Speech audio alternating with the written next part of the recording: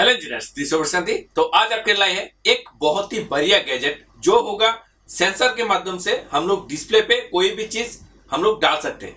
जैसे कि सेंसर होगा, जो कि यहाँ पे मैंने फ़ोटो ट्रांजिस्टर लगाया है। तो पिछला एक वीडियो मैंने बताया था, उस पर मैंने बनाया था एलडीआर के मदद से किस प्रकार से हम लोग कोई भी पिक्चर ड्रॉ कर सकते हैं अपने हाथों को या फिर कुछ भी हम लोग डाल के। तो इसी वीडियो में हम लोग बात करेंगे किस प्रकार से फ़ोटो ट्रांजिस्टर को हम लोग यूज़ करके आसानी से एक अलग से डिस्प्ले पर हम लोग वही जो फ़ोटो ट्रांजिस्टर के सामने आएगा, वही डिस्प्ले पे शो करेगा। इस तरह एक प्रोजेक्ट बनाएँगे। तो चलिए किस प्रकार से इसको बनाते हैं, वो आज हम लोग देखते हैं इसी वीडियो में।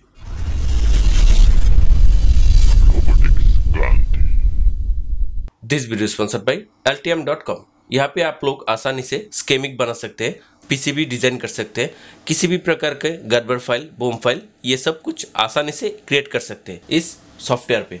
इस सॉफ्टवेयर के ट्रायल के लिए नीचे दिया हुआ लिंक पे क्लिक करें। तो अभी जो अपने प्रोजेक्ट देखा है, इसको बनाने से पहले हम लोगों को समझना होगा किस प्रकार से हमने ये प्रोजेक्ट बनाया है एक्चुअली में। तो इसके लिए मैंने एक डेमो बनाया है, आप यहाँ पे देख सकते हैं। आर्डिनो नैनो लगा दिया, जिस पर प्रोग्रामिंग ऑलरेडी अपलोड कर दिया मैंने। और यहाँ पे फ़ोटो ट्रांजिस्टर मैंने लगाया है तीन ठीक है? तो तीन फ़ोटो ट्रांजिस्टर पे जब भी लाइट अभी घिर रहा है तो इसके लिए ये जो कि हमने जो आठ लाइट लगाया है ये बंद हुआ है ठीक है? तो रेड ग्रीन ब्लू के लिए अलग अलग फ़ोटो ट्रांजिस्टर मैंने फिट किया है। तो जिस पर मैंने यहाँ पे अ, मतलब डार्क होगा जो ट्रांजिस्टर डार्क होगा उसी का आउटपुट से ये रेड ग्रीन ब्लू जो भी कनेक्शन है वो ग्लो करेगा। तो मैं अभी आपको दिखा रहा हूँ जब भी इसको डार्क करूँगा तो ये ग्लो कर रहा है। देखा आपने? तो इसको हटाने से ये फिर से अ, मतलब बंद हो गया है। तो अभी फिर से इसको दब देखिए रेड हो गया है। तो अभी ये बंद हो गया है। तो इसको दबाने पर देखिए ये ब्लू हुआ है।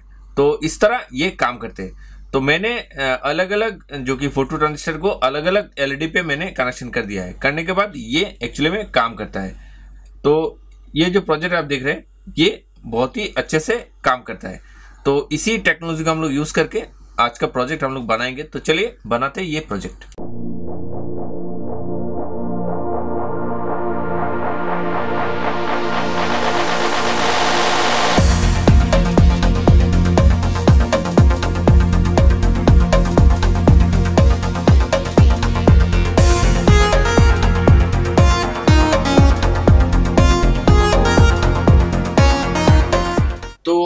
देख सकते हैं। यहाँ पे फ़ोटो ट्रांजिस्टर को हमने बहुत सारे लगाया है।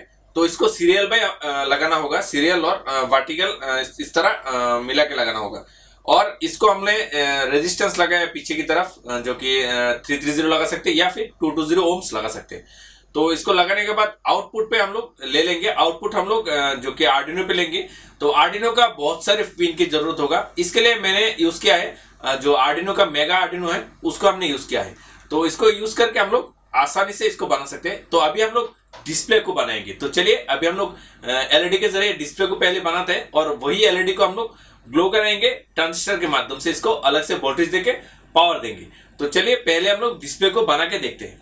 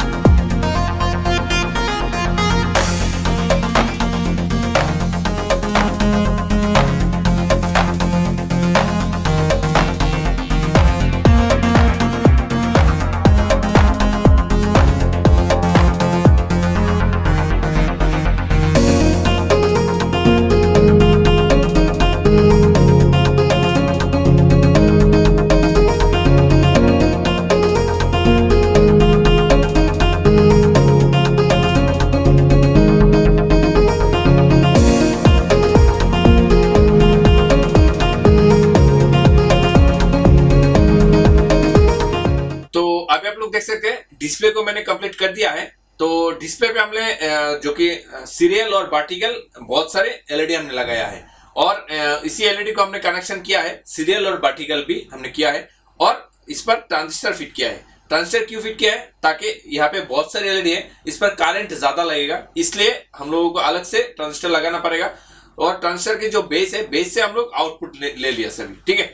तो आउटपुट का हम लोग आर्डिनो मेगा पे लगा देंगे और उसी के मदद से प्रोग्रामिंग आउटपुट करके हम लोग आसानी से ये प्रोजेक्ट बना सकते हैं। तो अभी हम लोग इसको फिट करेंगे, करने के बाद हम लोग प्रोजेक्ट को देखते हैं। तो अभी आप लोग देख सकते हैं, यहाँ पे सर्किट को मैंने फिट कर दिया है। तो ये रहा जो कि आर्डिनो मेगा तो मेगा क्यों लगाया है? ताकि वायर ज़्यादा हम लोग लगा सके। तो इस पर मैंने कुछ एलईडी लगा दिया है।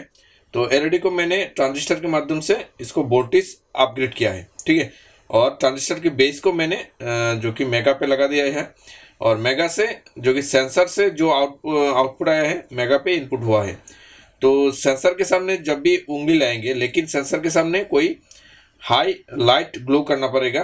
तो लाइट को मैंने लगा दिया है। एक मैग्नेटिक सॉरी, ये जो मैग्नीफाई ग्लास है, ग्लास के मदद से मैंने इसको लाइट को एक जगह पे कर दिया है, ठीक है? तो जब भी इसके सामने कुछ लाएँगे तो जहाँ पे जो कि डार्क रहेगा, वही का एलईडी ग्लो करेगा। तो मैं अब आपको दिखाता हूँ। तो लाइट को मैं बाद में जलाऊँगा। पहले इसको ऑन करते हैं। ऑन करने के बाद ये एलईडी ग्लो करेगा। तो देखिए ऑन करने के बाद ये एलईडी ग्लो ग्लो करने लगा। तो अभी हम लोग जब भी इसको जलाएँगे तो एलईडी बंद हो जाएगा। तो एलईडी जब भी लाइट को ग्लो करेगा एलईडी बंद हो जाएगा। देखिएगा। तो देखा आपने? जब भी लाइट ऑन हुआ है एलईडी बंद हो गया है, क्योंकि इस पर लाइट गिरा है। तो जब भी इसके सामने कुछ लाएँगे तो ये जहाँ पे डार्क हुआ है, वहाँ का एलईडी ग्लो करने लगा। देखा आपने? तो इस तरह ये काम करता है। तो बहुत ही आसानी से इसको मैंने बनाया है। तो देखिए, बहुत ही अच्छे से काम करता है। तो देखा आपने किस प्रकार से आसानी से हम लोग एक फ़ोटो ट्रांसफ़र को यूज़ करके डिस्प्ले पे अलग से पैटर्न हम लोग बना सकते हैं। अगर वीडियो को अच्छा लगा तो लाइक ज़रूर कीजिएगा और अपने दोस्तों ज़रूर शेयर कीजिएगा। आज के लिए थैंक यू दोस्तों। बाय